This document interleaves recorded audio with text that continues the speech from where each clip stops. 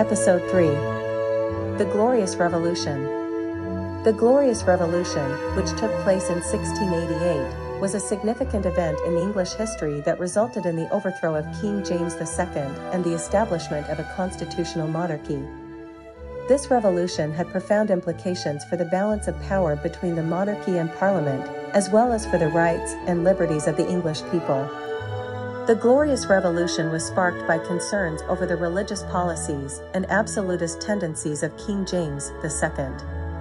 James, a Catholic monarch in a predominantly Protestant country, had pursued policies that favored Catholics and undermined the position of the Protestant establishment. This alarmed many Protestants, who feared a return to Catholicism and the erosion of their religious freedom. In addition to religious concerns, there were wider political and constitutional grievances against James II. He had ruled with a heavy hand, bypassing Parliament and appointing Catholics to important positions of power. This consolidation of authority in the hands of the king was seen as a threat to the traditional rights and liberties of English subjects. In response to these concerns, a group of influential political figures and nobles extended an invitation to William of Orange, a Protestant prince from the Netherlands who was married to James II's Protestant daughter, Mary.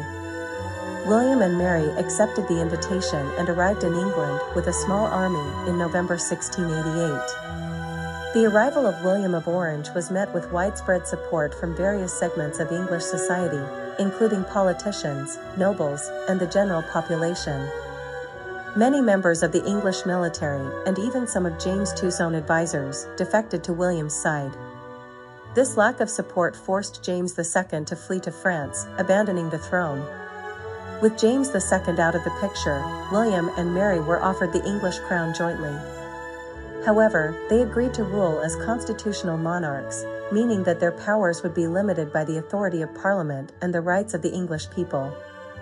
This marked a significant shift in the balance of power, as it affirmed the supremacy of Parliament and established the principle of government by consent. To secure their position, William and Mary accepted the Declaration of Rights, which outlined the rights and liberties of the English people and set limits on the power of the monarchy. This declaration later formed the basis of the Bill of Rights, which was passed by Parliament in 1689 and further enshrined these rights and limitations into law. The Glorious Revolution had several important consequences. It established the principle of parliamentary sovereignty, meaning that Parliament had the ultimate authority to make laws and govern the nation. It also affirmed the rights of individuals, such as freedom of speech and protection against excessive fines and cruel punishment. Furthermore, it paved the way for the development of a constitutional monarchy in which the monarch's powers were subject to legal and constitutional constraints. In summary, the Glorious Revolution of 1688 was a pivotal event in English history.